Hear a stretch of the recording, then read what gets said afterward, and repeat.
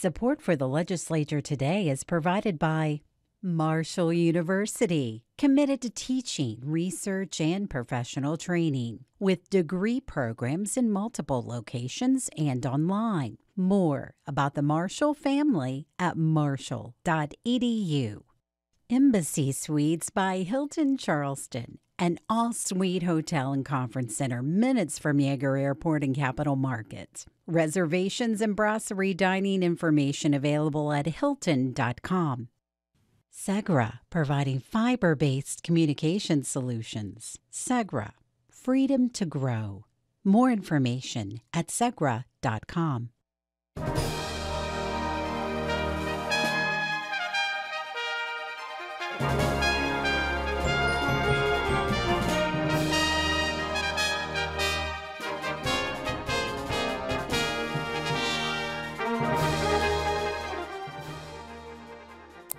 Good evening from Charleston. I'm Bob Brunner. Welcome back to West Virginia Public Broadcasting series, The Legislature Today. You can tune in every Monday through Friday to get a daily rundown on the news from the Capitol building. On the opening day of the session, the Senate got down to business and suspended its rules to pass 23 bills immediately onto the House of Delegates. Most of these bills the upper chamber passed last year, but for one reason or another did not become law. The House of Delegates introduced nearly 500 bills on opening day, but all were sent to the appropriate committees for consideration. Many will never see the light of day again. Senior Senator from the 17th requests unanimous consent that the bill be taken up for immediate consideration. Committee reference be dispensed with and the bill be read a first time. Is there objection? Chair hears none. Senior Senator from the 17th. Mr. President, I move the constitutional rule requiring the bill to be read on three different days be suspended. The bill be read a second and third time and placed upon its passage. Both chambers gavelled in today for short sessions and introduced several more bills, most sent to committee, but the Senate did suspend its rules again that the bills must be read on three successive days and several bills were passed through. The legislature looks a bit different this year. The numbers are still the same, but the 2022 election and redistricting have changed things a bit. I have West Virginia's governmental reporter Randy Yohe uh, from WVPB Broadcasting. He's uh, in the station here to discuss what has changed in the legislature. So, Randy, what's all this redistricting meant? Well, Bob, first of all, it's good to be working with you again.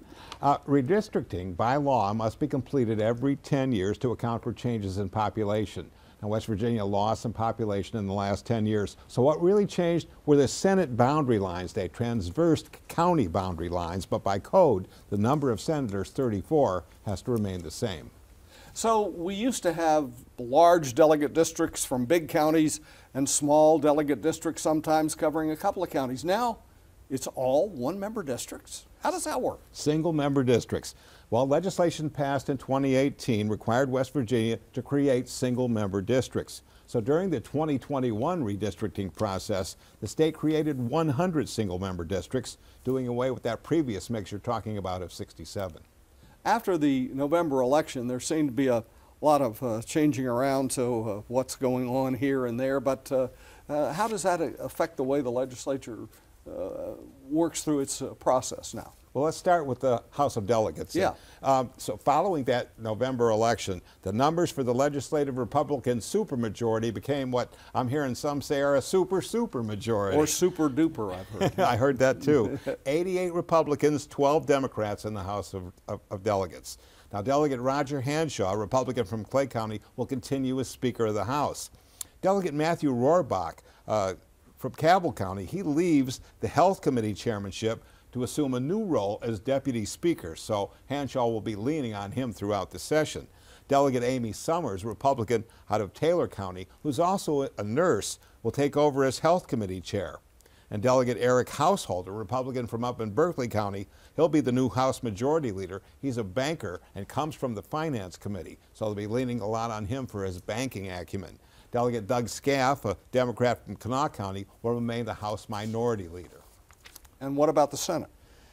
Well, the Senate, it, here we go, a super duper majority again, and this time in spades. There are now 31 Republicans and just three Democrats in wow. the entire Senate. It was 30 and 4 until Senator Glenn Jeffries, a former Democrat from Putnam County, he was the person who helped make this Berkshire Hathaway development project in Ravenswood a reality. He wrote that letter to Warren Buffett and he responded. Well, he switched to the Republican Party.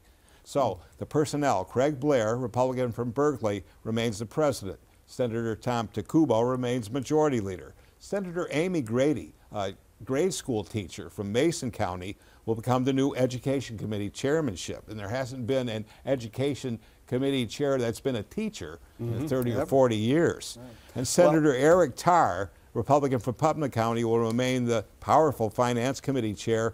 Mike Woelfel, Democrat, Democrat from Cabell County, will be the new Senate minority, minority leader. So that's what we've all got to keep track of. All right. Thank you very much, Randy. Now, we'll move ahead to uh, Governor Jim Justice delivered his seventh State of the State address in a joint session of the legislature. Earlier, Randy filed a story about what the governor told us. With a state revenue surplus nearing $2 billion, Justice said he wanted to advance a 2022 economic development drive that he says brought 29 businesses into the state, invested more than $6 billion, and created or preserved more than 6,000 jobs. He said his proposed three year phase in of a 50% personal income tax cut would be monumental. 30% the first year, 10% the next year, 10% the next year. And then, and then we step back and just see. With all that being said, think of how much if I were to walk into you and say, I'm going to put a billion dollars back into our economy tomorrow, and the people will spend it what will be the multiplier effect of that? Will it be six times or ten times? Tomorrow, you have become your own stimulus package with zero growth. Justice proposed sending $40 billion to state hospitals to make adjustments and offset minimal reimbursement to PEIA insurance holders and deliver a promised pay raise. I am proposing for the fourth time a 5% pay raise to every one of, of our state workers. Both the House and Senate proposed dividing the Department of Health and Human Resources into three separate cabinet agencies. Justice said he and his expert staff need to listen to those ideas. We can make it better. We need to listen to your ideas. You need to listen to ours. You need to absolutely bounce ideas off of Dr. Marsh and, and General Hoyer and, and, and Jeff Coben. Absolutely, I am as open minded as one could ever be.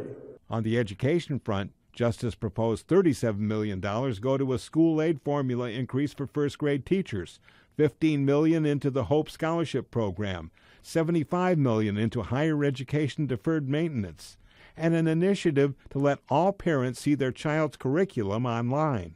All of our parents deserve to know exactly what's going on in a classroom. Without any question, our parents have always known what the best is for their kids.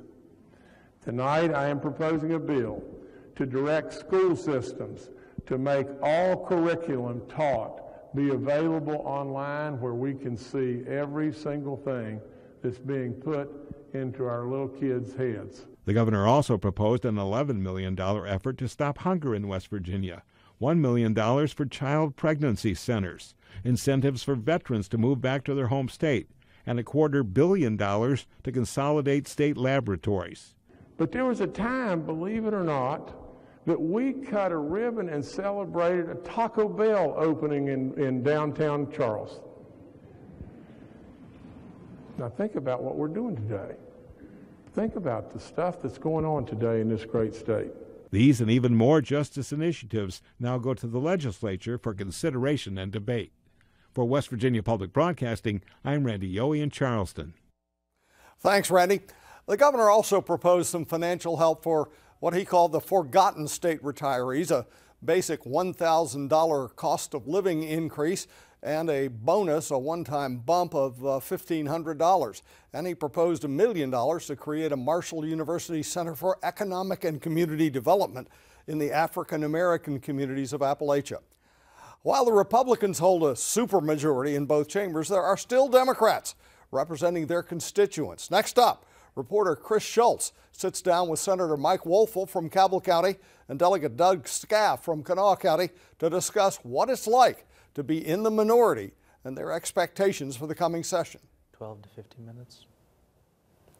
Senator Mike Woelfel and Senator, is the Senate Majority Leader, and Delegate Doug Skaff is the Minority Leader in the House. Both join me now on the legislature today. Good evening, gentlemen. Chris, thanks for having us. Thank you. Okay. So, gentlemen, it's no secret that the Democrats are at a disadvantage in both chambers this year. Uh, Senator Woelfel, why don't we start with you? What are your plans or hopes for this session? Um, I've got a fair number of bills that are important to me. that, uh, in fact, two have already passed the Senate at this early date and are have been received in the House. One is a, vic- a victims of, victim of sexual assault bill, and another is a bill involving uh, recovery residences. So that's legislation that got through the Senate last year unanimously and just was not taken up or didn't pass the House. So um, those, those are some of the items that I'm looking at. And of course, we got a, a really big head start on everyone yesterday. Yeah, and I'm certainly very interested in talking to you about that in just a moment. But Delegate Skaff, I'd be remiss if I didn't give you an opportunity. Uh, so, what are your hopes and, and, and, objectives for this session? Well, you know, my Democratic colleagues, we just want to make sure that everyone's voices are heard. We know we're outnumbered, you know, 88 to 12, and it's a tall order. We got to see that on day one when there was a few amendments that we just slightly lost. but the, the bottom line is we want to make sure everyone's represented and their voices heard. We think that we have a tremendous opportunity in front of us with this surplus money right now. We don't think we need to spend that money. We should invest that money, invest in the future of West Virginia into the people that it'll definitely trickle down to. So I'm going to push you both just a little bit here. How can you accomplish that with so few members at your disposal in your caucus? Delegate Skaff? Sure. You know, I think it's important. You have to have good relationships with the other side. You know, work, forget about party politics. The election's over. Put the R and the D aside build relationships with your colleagues. It shouldn't matter who maybe that first name is at the top of the bill, but if it's a good idea, Speaker Hanshaw and I have a great working relationship. He always says he doesn't care who gets the credit for it. If it's a good idea, we need to move it forward. And so what I need to encourage our colleagues to do is work with the Republicans, and if it's okay, just as long as their idea gets passed through, um, it doesn't matter who takes the full credit for it when it comes to that. We just want to see it uh, go through. And then the second thing we need to do is we need to work together. We need to come up with the ideas. We may have, we all care about public education. You all care about fixing PEIA DHHR. I mean, but the bottom line is we have different ideas of how to get there. So let's take our ideas. The speaker has offered a you know open door policy and just make sure we can be patient. Uh, we have to pick and choose our battles and get up and, and, and talk and, and just ask the pertinent questions to make sure that nobody's left out of the equation. Senator, there's just three of you. I mean, how do you accomplish what you want to accomplish? Well, um, we, we have, uh, we're three, but we're pretty effective uh, three. And in the Senate, it's a little bit different. You have a manageable number, and you have good legislation that people, regardless of their party affiliation, will get behind. Um, we saw that yesterday, again, with a lot of bills that passed unanimously last session that came on out. So I don't know what it's like in the House. I've never served there, but I can tell you that a good bill will, um, will see the light of day and be considered in, this, in the state Senate. So let's talk about the procedure here. You know, you talk about a good bill seeing the light of day. Uh, the Senate has already passed 25, was it, uh, at last count bills, and we're only at the end of the second day of session. Um, you know, Senator, what I'm most curious about is you had to suspend the rules to do that.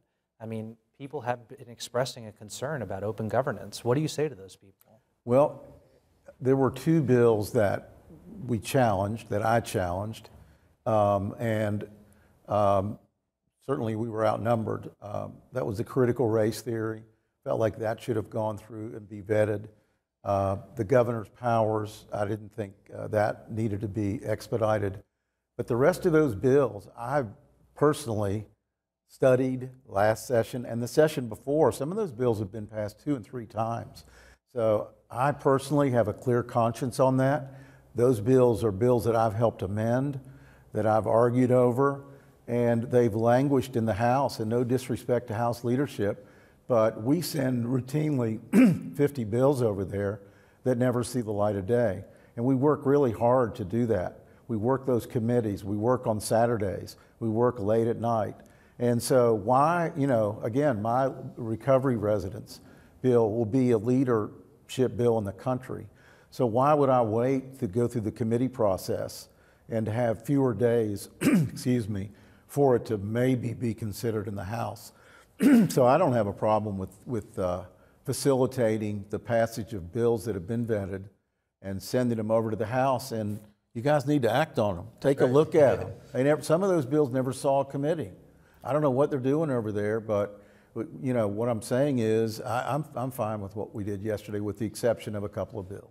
So, Delegate Skaff, I'm going to give you an opportunity for a rebuttal, and then I'd like to talk Yeah, about sure. that term in just a moment. So, what do you have to say to uh, what? No, the I think you know what he said is correct. We've had bills, same thing, you know, on the House that go to the Senate and they don't see the light of day. And obviously, neither one of us uh, gets to make that call of what bills get seen in committee and brought forth.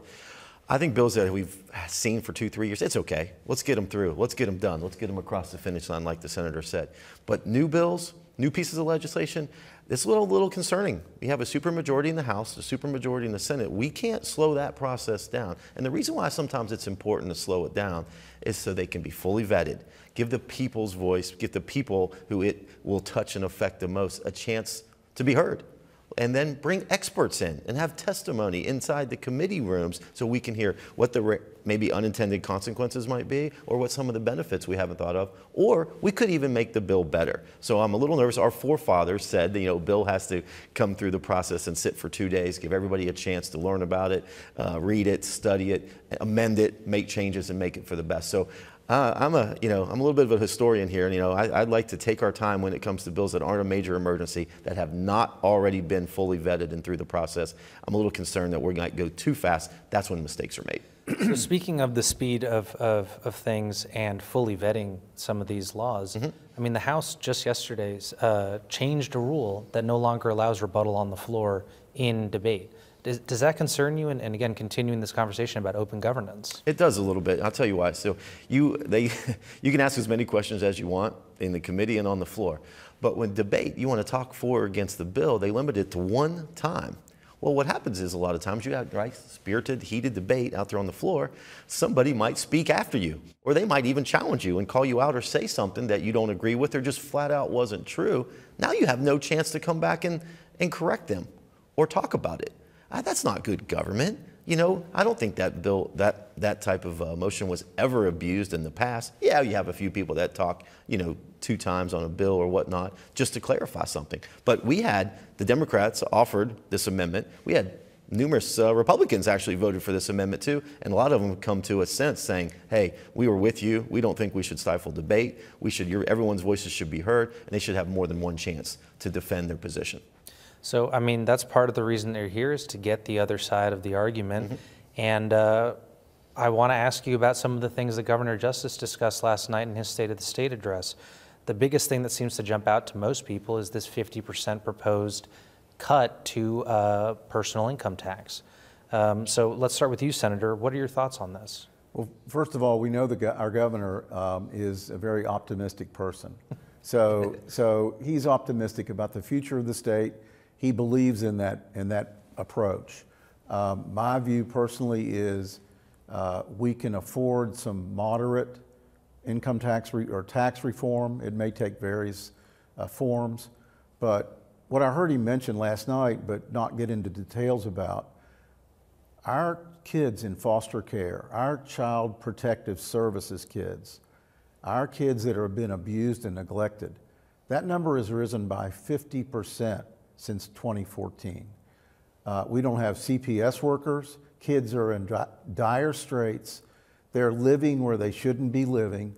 And we've recently had a hiring freeze. So I would have liked to have seen the governor provide a lot of detail on how he's going to attack that.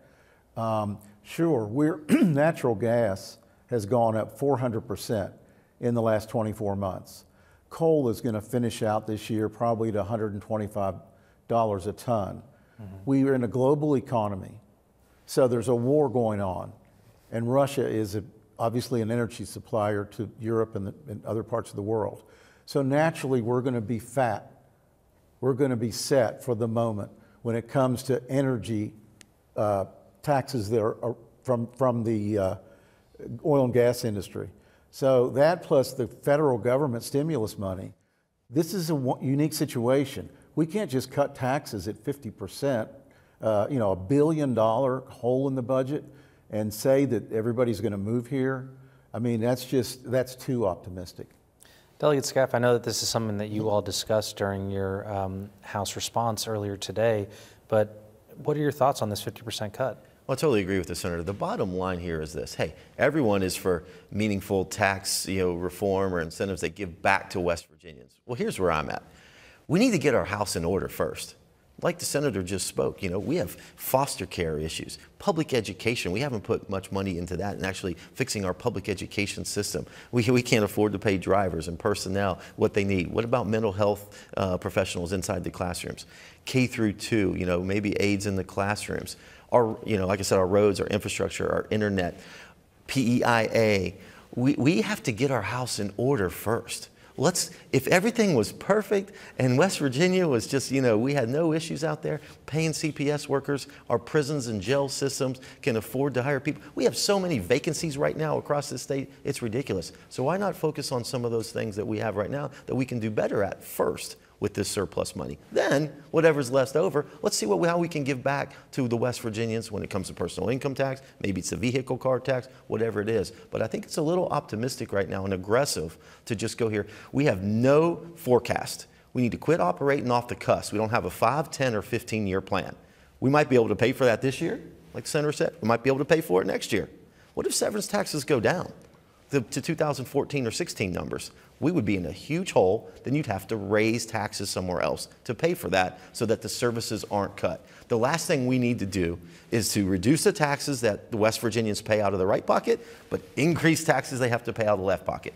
We're, we're flushed right now, but we may not be flushed two years from now. So we're in the last couple of minutes here of our time together, gentlemen. I wanted to ask you something that you both brought up the restructuring of DHHR. This is something that passed last year, was vetoed by the governor. Why do you think this year is different? Well, the, the DHHR has grown to be just a massive agency that spends, I don't know, six, seven, 70% of our, 60% of our tax revenue goes there. It's unmanageable. So it needs to be diced up a little bit so that it can be managed. Uh, it, it, again, you have children that are in foster care, we're in dire straits with what's going on there with DHHR.